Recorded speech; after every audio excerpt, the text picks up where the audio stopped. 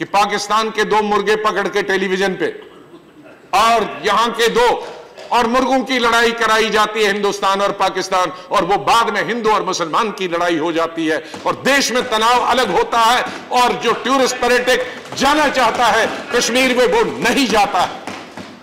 لیکن یہ جو آپ لوگوں نے کہا کہ زیرو ٹالرنس بھارتی جنتا پارٹی، یہ کچھ گلے سے نہیں اتری۔ گلے سے اس لیے نہیں اتری زیرو ٹالرنس ہے، ہم سب چاہتے ہیں۔ مکھیہ منتری کے روپ میں جتنا بھی ہم آتنگواد کو ختم کر سکتے تھے اس میں ڈٹ کے کیا۔ کسی سے پیچھے نہیں رہے۔ لیکن ہم لوگوں نے آتنگواد کو تقریباً تقریباً فریزنگ پوائنٹ پہ لایا تھا۔ چاہے وہ کانگریس کی اور پی ڈی پی کی گورنمنٹ ہو۔ چاہے بعد میں نیشنل کانفرنس کی اور کانگریس کی گورنمنٹ دو ہزار چودہ تک ہو۔ آتنگواد ختم ہو گیا۔ کیا وجہ ہے کہ ان پچھلے دو ہزار چودہ سے لے کر سب سے زیادہ فوجی، ایک تو اسی کی بات، نبے کی بات نہیں کرتا ہوں۔ میں کہتا ہوں کہ جب سے آتنگواد ختم ہو گیا پچھلے دس پندرہ سال سے، کیا وجہ ہے کہ انہی پانچ سالوں میں سب سے زیادہ ہماری فوجی مارے گئے کیا وجہ ہے کہ سب سے زیادہ سویلین اسی وقت میں مارے گئے؟ کیا وجہ ہے کہ ہمارے آرمی میرے لکھے ہیں؟ میں نام نہیں لینا چاہوں گا۔ سولہ آرمی سی آر پی کے جو انسٹالیشن وہ اوڑی سے لے کر نگروٹا سے لے کر جتنے بڑے بڑے امپورٹنٹ جگہیں ہیں، ان پہ حملے ہوئے اور لوگ ہمارے فوجی مارے گئے۔ صرف حملے نہیں ہوئے، مارے گئے بھی۔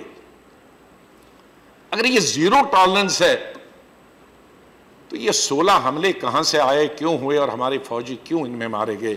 پہلے جب نبے اور اکانوے، بانوے میں، ترانوے میں اتنا انتم چرن پہ آتنگواد تھا، اتنے بڑے حملے کیوں نہیں ہوئے؟ ہزاروں لوگ مارے گئے۔ لیکن آرمی انسٹالمنٹس، انسٹالیشنز کو آپ کیوں نہیں بچا پائے؟ پٹھان کوٹ سے لے کر اور اوڑی تک اور نگروٹا تک۔ تو یہ زیرو ٹالرنس کی نشانی تو نہیں ہے۔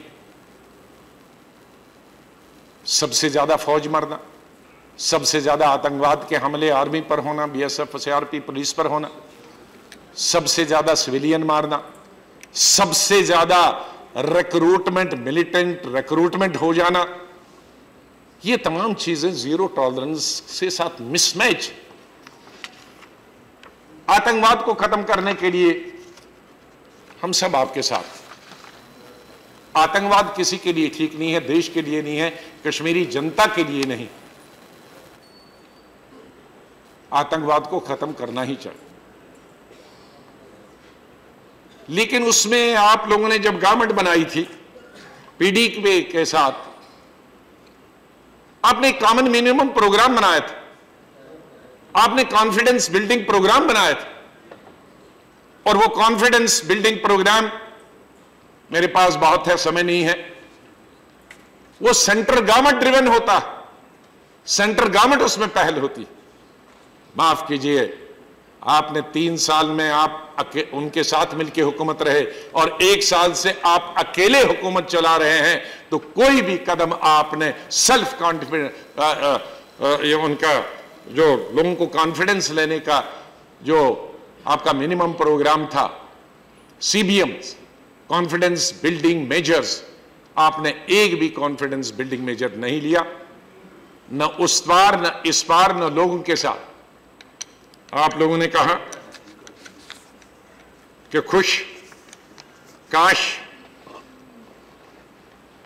جو ہزاروں اور لاکھوں لوگ دو ہزار چودہ میں پیڑت ہوئے تھے، ایک سو سال کے بعد وہاں بارش اور پورا کشمیر باڑھ آ گئی تھی اور پورا کشمیر ڈوبا ہوا تھا۔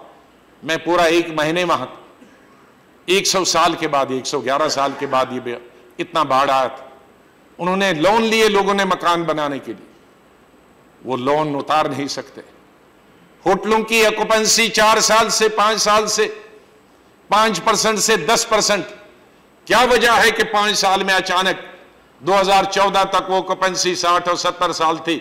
کیا وجہ ہے کہ وہ آپ کی سطح میں آنے کے بعد وہ پانچ سے دس پرسنٹ پہنچ گئی ہوٹل اوکوپنسی انہوں نے لون لیا۔ وہ کون دیں گے پانچ پرسنٹ جس کی اوکوپنسی ہو؟ دس پرسنٹ، پندرہ پرسنٹ جس ہوٹل کی اوکوپنسی ہو؟ وہ کہاں سے لون واپس قسط کرے گا؟ وہاں کی ٹیکسیاں جو اچھی، ہر درجے کی ٹیکسیاں ہیں، کیونکہ فارن ٹورسٹ بھی آتا ہے اور ہمارے دیش کے بھی آپ اچھی اچھی ٹیکسیوں میں چلتے ہیں۔ انہوں نے جو لون لیا ہے وہ مر رہے ہیں۔ شکارہ والوں نے لون لیے، وہ مر رہے ہیں۔ دکاندار جو ہیں، انہوں نے لون لیے، وہ مر رہے ہیں۔ یہ پوچھنے اگر میں بہت خوش ہوتا، مانیے گرہ منتری جی میں اس لیے کہہ رہا ہوں کہ شاید آپ اس میں کچھ کریں گے۔ پانچ سال میں کوئی پریاس نہیں ہوا کہ ان کا لون اتارنے کے لیے کہ پانچ سال تک آپ یہ قسط مت دے دو۔ کہاں سے یہ قسطیں لائیں؟ بینک ان کو روز ان کے پیچھے پڑا ہوتا۔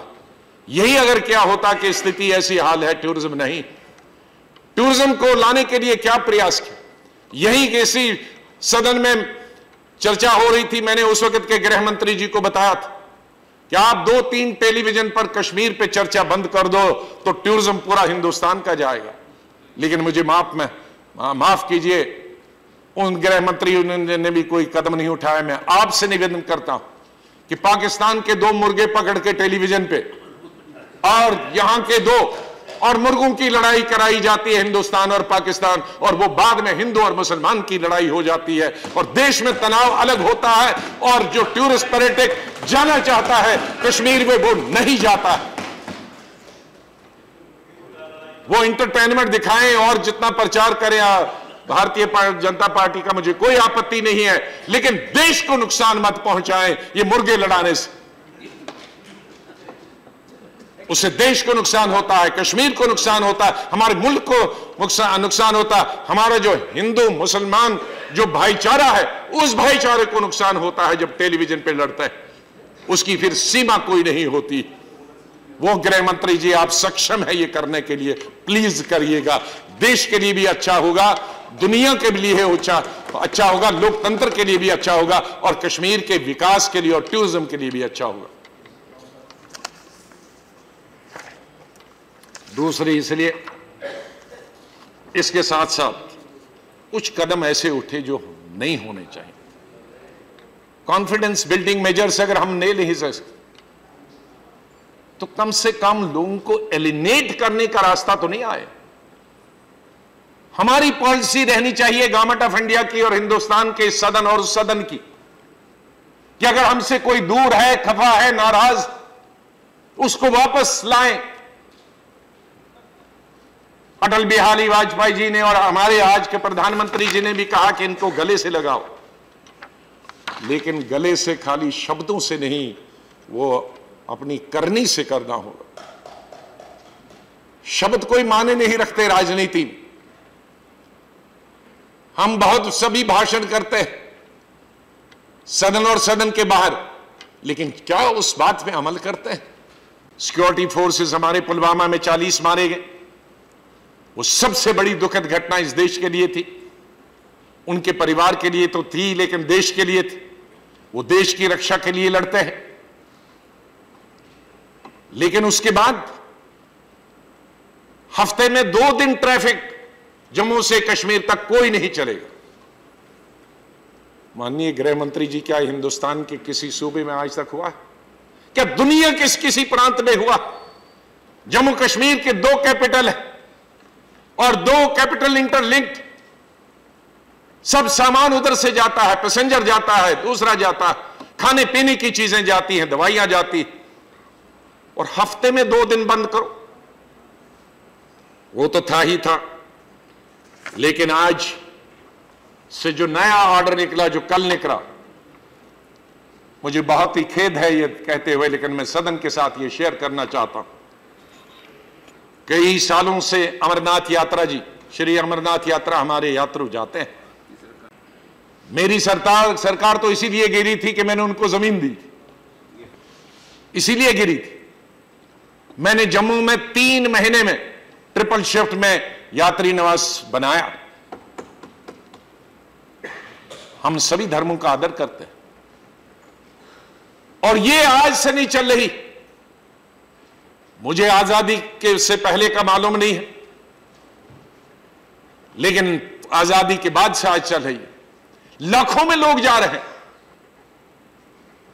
یہ جو لاکھوں میں جب ہمارے یاتری کشمیر گھاٹی میں پہنچتے ہیں، یہ گھوڑا والا کون ہے؟ یہ پالکی اٹھانے والا کون ہے؟ جس میں میری بہنیں، مائیں بزرگ، بوڑھے ہندو بھائی اور مائیں اور بہنیں بیٹیاں جو نہیں چل سکتے اس پالکی اور اس پالکی کو چلانے والا کشمیری مسلمان۔ اس گھوڑے والے کو چلانے والا کشمیری مسلمان۔ اس کی رکشا آج تک کبھی چوری کی شکایت نہیں ملی کسی گھوڑے والے کی۔